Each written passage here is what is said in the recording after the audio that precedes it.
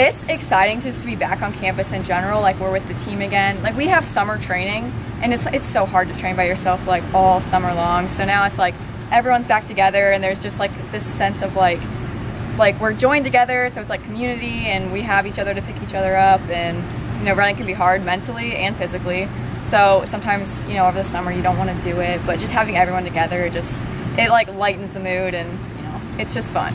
Really looking to run as a group, top group, get that group as close as we can to as possible so we can place as high as we want at nationals. Um, we've had some bigger goals this season uh, at nationals and as a team in general.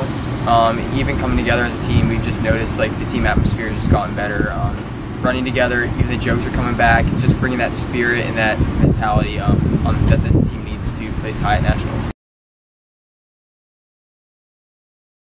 Really just looking up to our top guys and really just being that seventh guy that can help close that gap and place high at nationals. Um, I feel I'm in a great spot, recovered from my injuries, so um, I'm that underdog right now that no one really knows that uh, what occurred last year. So I'm really just hoping to help this team out and give it my best, and that that would do itself. It'll play out in race day. I am just trying to be like a good leader on this team and bring like, and I also want to emphasize that no matter how old you are. I don't even care if you're a freshman, like you're still a leader on this team and I don't want anyone to feel like oh, I can't say something because I'm too young or like something like that. Like we do have a small team and it's important I think for everyone to have a voice on the team and really just like everyone plays a part. And it's nice being small too just because we are more of like a tight knit like tight knit team um, which I think has its benefits in itself. Like we all know each other better. We can all like enjoy each other's company more and just like be together. So yeah, I think it's important just for everyone to kind of come together. We brought in 12 freshmen this year, um, which is a big class, um, and already getting to know them all. Um,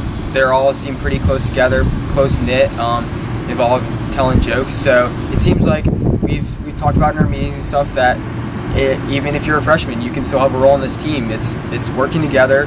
Um, it may not be now that you're going to be in that top seven, but maybe next year when we lose six of our uh, seniors, you're going to have to be right there to help um, build this team. Still focus on now, but I mean, we still need you later on in a couple years um, in your class, especially your senior year. You're gonna have to work together. So like making, showing them the mentality now of this year of how we work is gonna play off to their senior year. So I'm really looking forward to the guys we brought in and how this team is shaping. So really excited.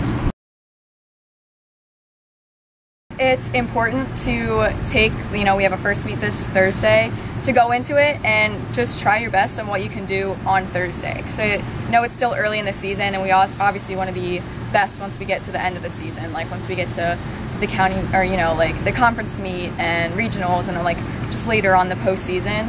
So I think we just have to take every meet in itself as like, this is where I am now and this is the effort that I'm going to give right now um, in order to be the best that we can be at the postseason. So we just got to keep putting the work in and build from there.